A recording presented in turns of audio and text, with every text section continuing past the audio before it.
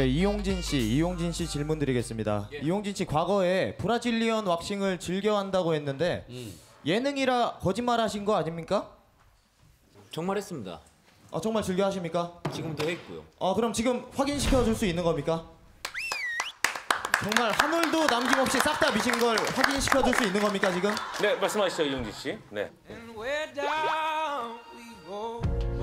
네, 어, 이용진 씨가 일어섰습니다. 자, 지금부터 어, 잠시 포토 타임을 어, 갖도록 하겠습니다. 자, 이용진 씨는 왼쪽 중간 가운데 어, 순서대로 사진 촬영을 하도록 하겠습니다. 이걸 하고 포토타임 간다고요? 그럼 여러분 제가 5분간만 보여드리도록 하겠습니다. 이쪽부터 부탁드리겠습니다. 여기부터 보여주십시오. 이쪽부터 부탁드릴게요. 자, 그럼 제가 자, 그럼 제가